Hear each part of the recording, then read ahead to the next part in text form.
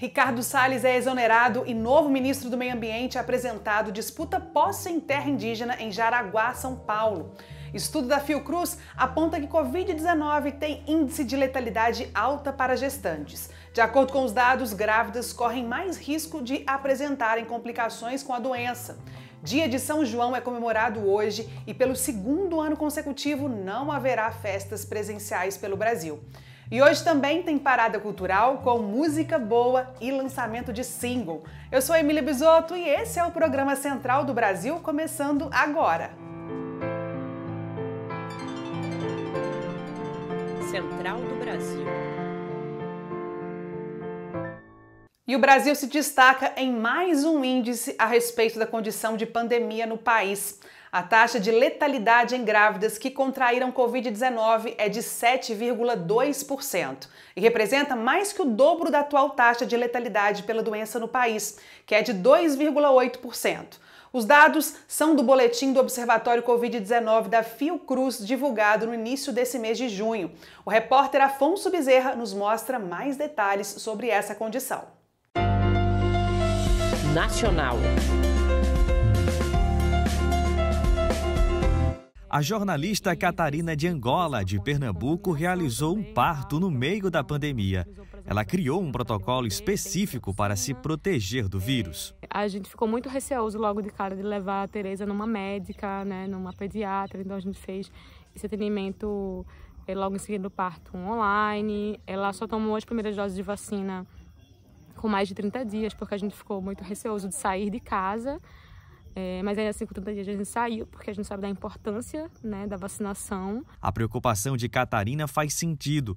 Os últimos dados do boletim epidemiológico da Fiocruz apontam que no mês de junho houve um rejuvenescimento entre os contaminados e uma alta de casos envolvendo gestantes. O Brasil lidera nas Américas o índice de morte por Covid entre as grávidas, segundo a OPAS.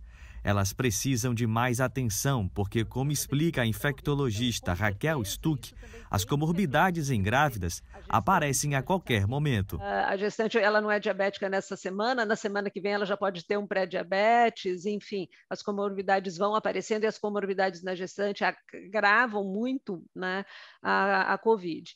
O cenário também preocupa porque muitas estão sem conseguir fazer o pré-natal completo uma vez que os serviços foram desativados ou direcionados para o combate à pandemia. Entre janeiro e maio deste ano, 911 mulheres grávidas ou que acabaram de ter bebês morreram vítimas de Covid-19, de acordo com a Fiocruz, um número maior do que o registrado em 2020 inteiro. Conhecido como Santo Festeiro, o dia de São João é comemorado hoje, dia 24 de junho. A tradicional festa junina é um festejo popular que tem comemorações nos quatro cantos do Brasil, marcadas com danças, pratos típicos e brincadeiras. Por conta da crise sanitária que enfrentamos desde 2020 aqui no Brasil, as comemorações presenciais ficaram suspensas. Apesar disso, algumas famílias fãs do festejo darão um jeito para a data não passar desapercebida, como nos mostra Nayá Tawane na reportagem. Confira.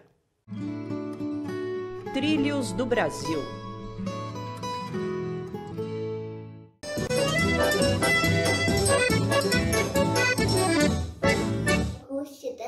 Hoje tu vai curtir dentro de casa? Sim pouco do coronavírus. A pequena maranhense Maria Luísa, de 4 anos, mostra que é possível comemorar o São João mesmo dentro de casa. Com um pouco de criatividade, muitas famílias têm se reinventado para não deixar passar essa data tão importante para a cultura brasileira. Como também é o caso da Emily Thaís, estudante de técnico de enfermagem da Paraíba. E acredito que a gente estar com saúde nesse momento tão difícil é o que realmente importa. Então, gente, comemorem o São João nas casinhas de vocês, com a família de vocês. Todo mundo com saúde é o que realmente importa. Os festeiros que adoram o arraiá estão improvisando e trocando as barraquinhas de comida pela mesa do jantar e a banda de forró ao vivo pela live na internet. Mas a alegria continua a mesma Michele Martins é modelo fotográfica no Ceará. Ela relata que comemorar o São João é uma forma de se manter otimista e acreditar em dias melhores. Afinal, já é o segundo ano né, que a gente não tem aquela festa linda, tradição, que é a festa junina, né, que a gente ama. Porém, a gente não pode deixar passar em branco. Dá para aproveitar assim dentro de casa com as pessoas que a gente ama, preparando uma comidinha típica, colocando uma música animada de São João, coloca uma roupa xadrez e entra na dança.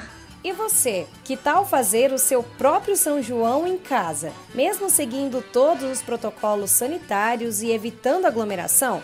É possível comemorar essa festividade que está presente no Brasil desde o século XIV. Com a chegada da pandemia e a necessidade de isolamento social, o número de violência contra a mulher subiu significativamente. Isso porque parte delas passaram a conviver em maior tempo com os seus agressores. Um projeto criado pela bancada feminista de São Paulo visa criar uma central única para dar assistência a essas mulheres que sofrem ou sofreram algum tipo de violência em casa. A repórter Nayata Wani conversou com a co-vereadora Paula Nunes sobre o assunto. Vamos conferir. Entrevista Central. Olá, hoje nós vamos conversar com a Paula Nunes. Ela que é co-vereadora em São Paulo, eleita pela bancada feminista do PSOL. Seja bem-vinda, Paula. Oi, Naya, obrigada, muito obrigada pelo convite. Queria que você falasse um pouco sobre como a pandemia ela escancarou ainda mais a violência doméstica contra as mulheres. A verdade é que com a pandemia é, as mulheres passaram a ficar muito mais em casa, mas também é, os seus companheiros, seus maridos, parceiros também passaram a ficar mais em casa isso tornou esse convívio muito intenso, por um lado. Então, muito intenso no sentido de que as mulheres tiveram uma sobrecarga dos seus serviços domésticos, dos cuidados com os filhos, né, especialmente com escolas fechadas, sem condições sanitárias para reabrir, e isso aumentou também o convívio com esses parceiros, muitas vezes os seus próprios agressores, né? Então, mulheres passaram a conviver mais, de forma mais intensa com seus, com seus é, agressores, e por outro lado, tiveram menos acesso aos meios externos, seja o seu trabalho, seja convívio com amigos, seja até mesmo convívio nos postos de saúde, nas UBS, ou em serviços de atendimento que detectavam essa violência. Paula, e sobre esse projeto né, da bancada feminista, o que ele exatamente propõe? Bom, a nossa proposta, na verdade, são duas coisas. Em primeiro lugar, criar na cidade de São Paulo uma central unificada de vagas para o abrigamento emergencial de mulheres em situação de violência. Aqui na cidade existem diversos abrigos em várias regiões da cidade, infelizmente não ainda em número suficiente, né, para atender a demanda se todas as mulheres vítimas de violência quisessem ser abrigadas, mas esses abrigos existem aqui na cidade e eles existem para atender essa situação emergencial, que a mulher foi agredida, precisa sair de casa, se retirar, existem inclusive abrigos sigilosos. Então, a nossa proposta é unificar, criar uma central única para essas vagas e também uma central única e que unifique as vagas que são administradas hoje pela Secretaria Municipal de Assistência e Desenvolvimento Social e as, as, vagas que são administradas pela Secretaria de Direitos Humanos, que são especialmente as vagas que ficam na Casa da Mulher Brasileira, que é um equipamento nacional, mas que aqui em São Paulo é administrado pela Secretaria de Direitos Humanos. Nosso projeto de lei, que foi aprovado agora em segunda votação, pretende é que para que essas mulheres tenham direito a esse benefício do auxílio aluguel, elas não precisem registrar o boletim de ocorrência ou pedir a medida protetiva no judiciário, mas que só tenham um parecer técnico das é, trabalhadoras da assistência social, da saúde, que acompanham essa mulher, que atestem que ela sofreu essa violência, que com isso, imediatamente, ela já consiga acessar esse benefício. E sobre o papel do Estado, né? Na sua avaliação, como o governo tem atuado nesse combate da violência contra a mulher, principalmente durante a pandemia? O papel do Estado no lugar das políticas públicas é fundamental para conseguir coibir a violência contra a mulher ou para diminuir, para dirimir a violência contra a mulher.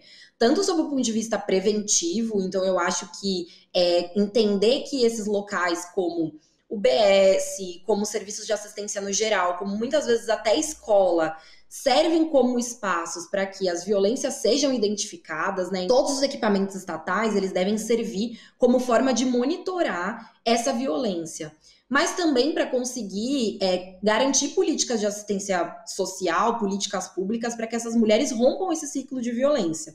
Eu falei de algumas delas, que são emergenciais, para que as mulheres rompam imediatamente, saiam desse local em que elas sofrem violência. O auxílio aluguel, o abrigamento. Mas não é só isso, né? É necessário que o Estado garanta políticas de emprego e renda, porque muitas vezes as mulheres ficam nessa situação de violência porque tem uma dependência financeira direta dos seus maridos, das pessoas com quem elas vivem. Então, pensar em políticas de emprego e renda é fundamental. Para a gente finalizar, Paula, qual ah, o papel do movimento feminista nessa pressão né, para conseguir essas conquistas? Eu acho que isso é fundamental. Na verdade, os grandes projetos e as grandes leis, né, mas as grandes também políticas públicas que existem hoje no nosso país são fruto de muita luta do movimento feminista. Para mim, o um grande exemplo é a Lei Maria da Penha. A Lei Maria da Penha é uma lei que foi construída pelo movimento feminista, né, pelas mulheres que vieram antes de mim, pela geração anterior, mas não só isso, assim, o direito à política do aborto legal, é o direito de que a gente possa debater isso nas escolas, debater gênero, debater violência nas escolas e também barrar os retrocessos que tentam ser colocados o tempo todo, né? Eu acho que é assim que a gente tem que olhar que nós, na verdade, somos representantes no parlamento, porta-vozes no parlamento, de uma mobilização que aqui fora é muito maior, muito mais grandiosa e que é tocada pelo movimento feminista. O embarque imediato de hoje é com a ativista feminina Sara de Roure, com um olhar sensível a respeito das mais de 500 mil vítimas da Covid-19. Ela fala sobre as vítimas dessa pandemia do Brasil e a necessidade de lembrá-los e se fazer justiça. Embarque imediato. Acender uma vela pelos que se foram, acender 500 mil velas. Para muitas tradições de fé, as velas têm um significado super importante, mas a verdade é que todo mundo sabe o que uma vela acesa significa. Trazer à memória o nome dos que se foram, falar do nome falar o nome, dar nome aos 500 mil brasileiros e brasileiras que perdemos para a Covid-19. Trazer à memória seus nomes, para então pedir por justiça.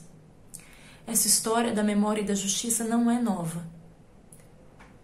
Há muito tempo eles nos matam e há muito tempo nós reivindicamos por justiça seja na luta dos familiares dos desaparecidos políticos em toda a América Latina, nas experiências das mães da Praça de Maio ou das mães de Maio aqui no Brasil. Na experiência e na luta das mulheres negras que enterram seus filhos nas periferias do Brasil, vítima do genocídio da população negra.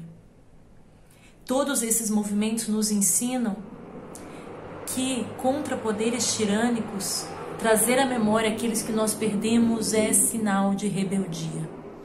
A parada cultural de hoje vem lá de Ribeirão das Neves, município de Minas Gerais. Marcos Brey é músico, produtor cultural e sociólogo. Luzir é o seu trabalho mais recente que contempla oito faixas musicais. Vai ter show de lançamento e é ele quem faz o convite. Parada Cultural.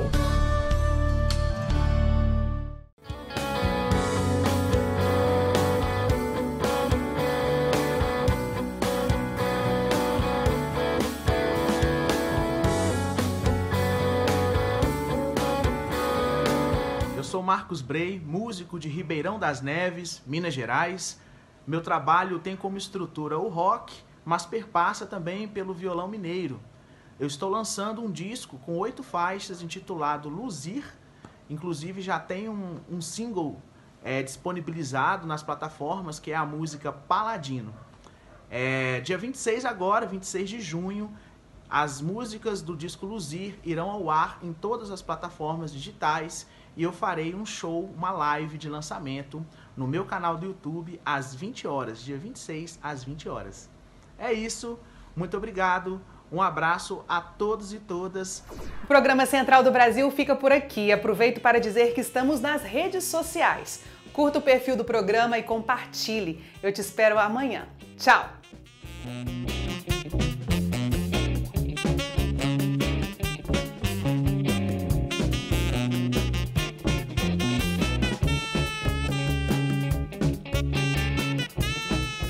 Central do Brasil, a rede de comunicação dos movimentos populares.